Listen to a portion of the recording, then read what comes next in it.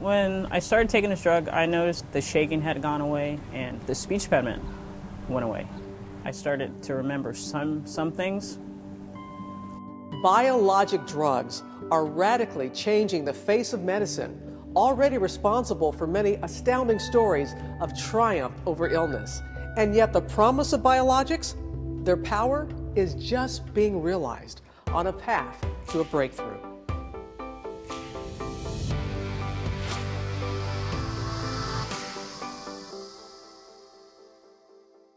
Chef Felicia Greer was just 35 years old when the fatigue set in and the shaking began.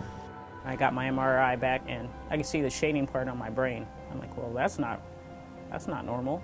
And he goes, that's multiple sclerosis. And I sat and I cried for 15 minutes.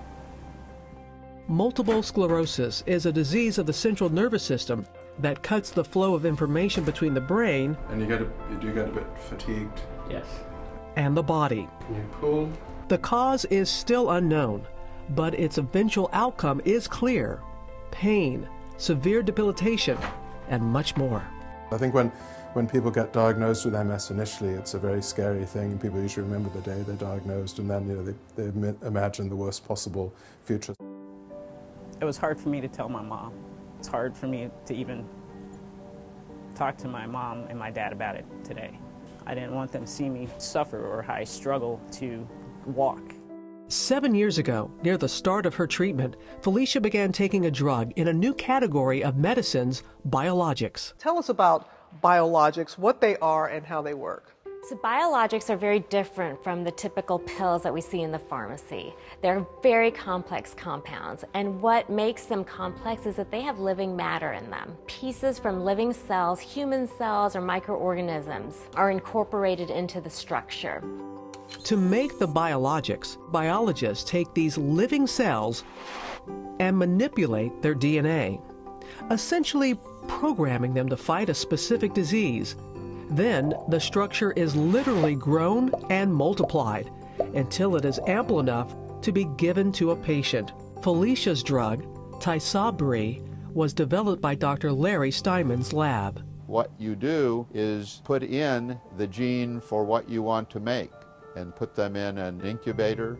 They're very complex, so there's uh, a whole field of chemical engineering of biologics not everyone responds to each biologic drug, and they are not without side effects.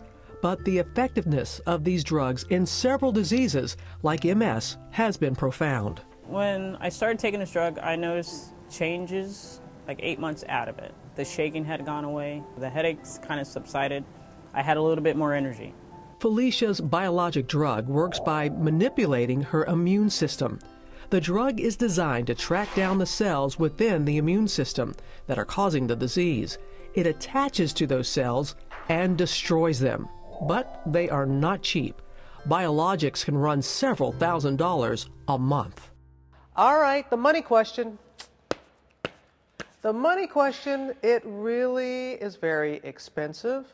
It's very hard to have a generic version of it, though there is something called biosimilar that will reduce the cost. Can you tell us more about that? Yes. So Biologics are costly, there's no doubt about it. Biologics have been around for a while, and so now with the patents running out, we will see what are called biosimilars coming to the market.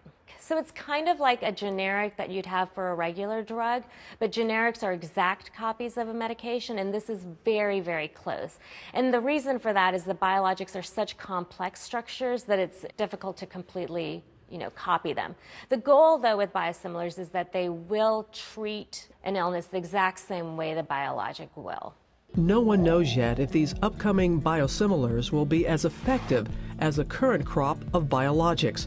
But most in the field have high hopes, and with even more biologic drugs getting ready to be introduced, patients can look for greater options in their treatment plan. There's great hope for further developments in cancer and autoimmunity and for patients like Felicia, the revolution in biologics is life changing. No, I walk in somewhere and people don't know me and they say, What's going on? I'm tired. Why are you tired? I don't feel well. Why? I said, I have multiple sclerosis. They're like, No, you don't. I'm like, Yeah, I do. They're like, Really?